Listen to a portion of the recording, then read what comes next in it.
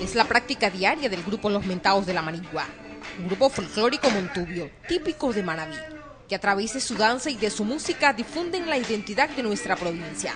Eh, se cumplió ya en primera parte con, el proyecto eh, Mentados, que trataba justamente de salir a través del apoyo del Ministerio de Cultura con el rescate, la revalorización y posicionamiento del amorfino, no solamente como el género del verso, lo que hablábamos hace un rato, sino también como música, porque eso...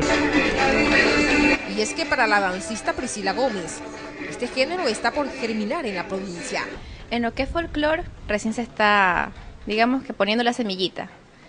En otros géneros, en lo que es Manabí, en Manta está muy desarrollado lo que es el contemporáneo y en Chon el moderno.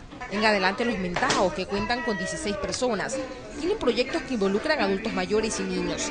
El Ministerio de Turismo los apoya. El Festival de la Tradición Oral en cinco cantones, Manavitas, es lo más cercano. Bahía, Manta, Puerto Viejo, Jipijapa y Montecristi. Se va a hacer más, más o menos entre el 3 al 10 del mes de julio. Este sería el segundo Festival de la Tradición Oral en Manaví.